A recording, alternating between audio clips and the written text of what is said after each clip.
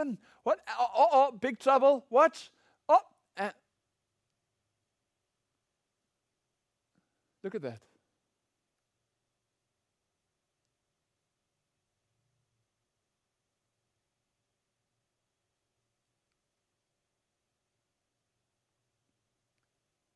It will be again like in the Garden of Eden.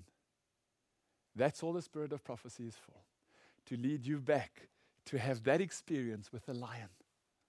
That your daughter or your child can play with wolves. Wow, it's going to be incredible.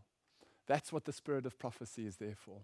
And I really would like to encourage you to go and study the, the works and the things that she's done and the things that she's spoken about in the spirit of prophecy. She is an incredible blessing to God's people.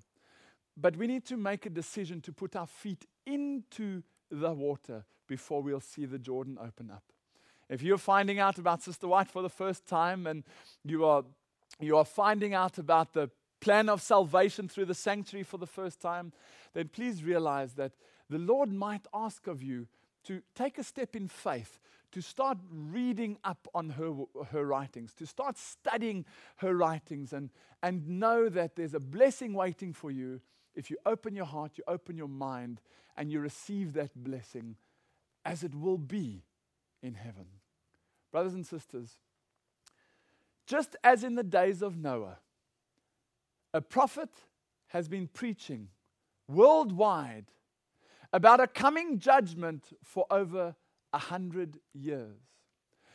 This is a prophet with both a gospel message and a food message. The parallels are phenomenal. When we get into the ark, have you studied the ark? I encourage you, don't do it now. I won't show you the graphic now, but go to Genesis 6 sometime and read about the structure of the ark and how it was made. And you'll see that it had three levels. Isn't that beautiful? You have the Ark of the Covenant, the mercy seat, and the Shekinah glory. And we read in the Bible, you have the first heaven, the second heaven, and the third heaven. There where God is, the third, it's called the third heaven.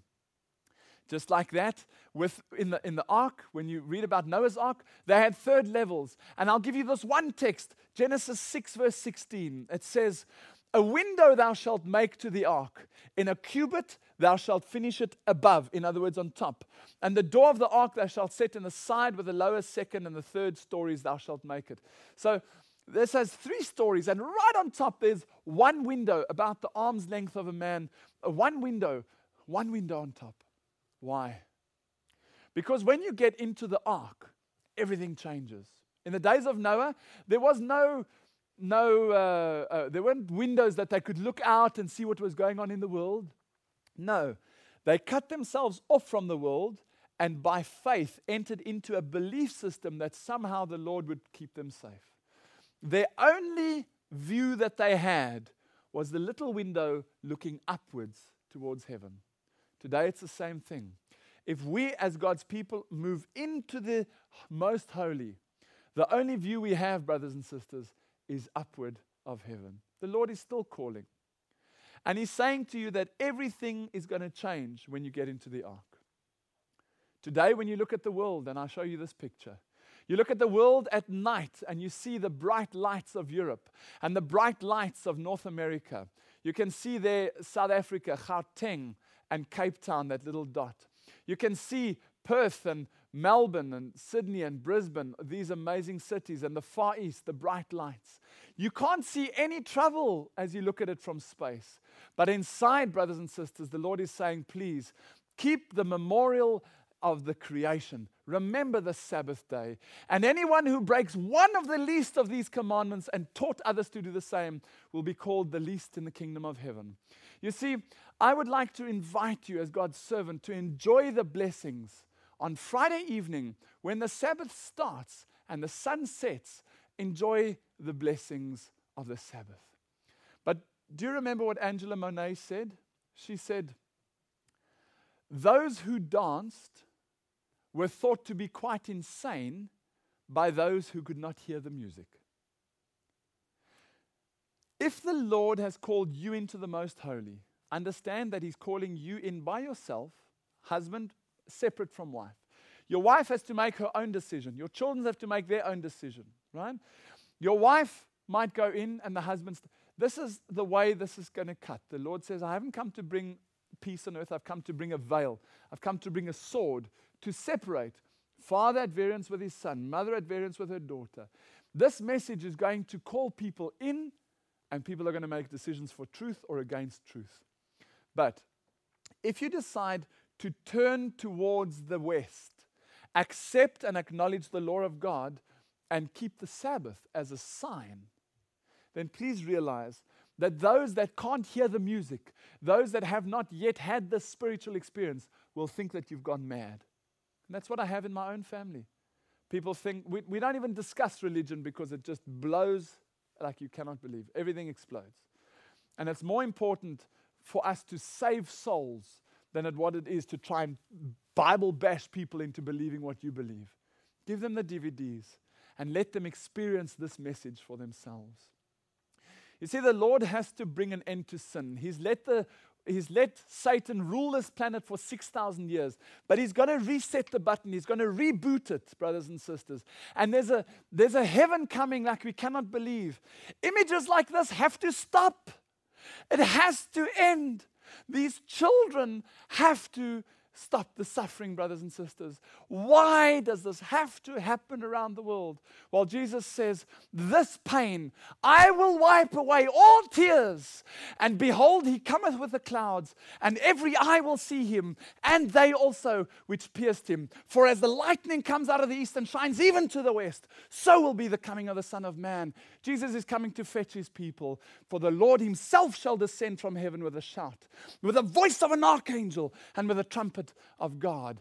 He shall send his angels with a great sound of a trumpet, and they shall gather his elect from the four winds, from the end of the heavens to the other.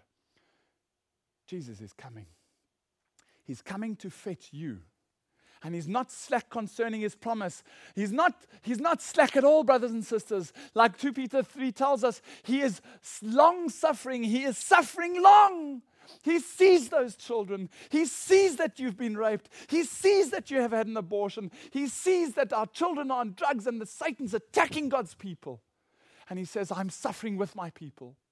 Please understand, the reason I haven't come yet is because I want everyone to come to repentance. I want the whole world in the most holy. But there's a veil, and people are going to make a decision. And I want to encourage you, brothers and sisters, to realize what Ephesians 4, verse 4 and 5 said. There is one body and one spirit, even as you are being called, come out of her, my people, into one hope of your calling, one Lord, one faith, one baptism. How many options are there? Come, my people, as Isaiah 8 26 tells us, Come, my people, enter thou into thy chambers and shut the doors about thee. Hide thyself in the most holy, as it were, for a little moment until the indignation be overpassed. Get into the ark. The, the, the flood's coming. The, the final events are going to be like you've never imagined in your worst nightmares. But just hide in the ark and trust by faith. Keep your eyes on that little window at the top of the ark and believe that somehow the Lord is going to pull his people through.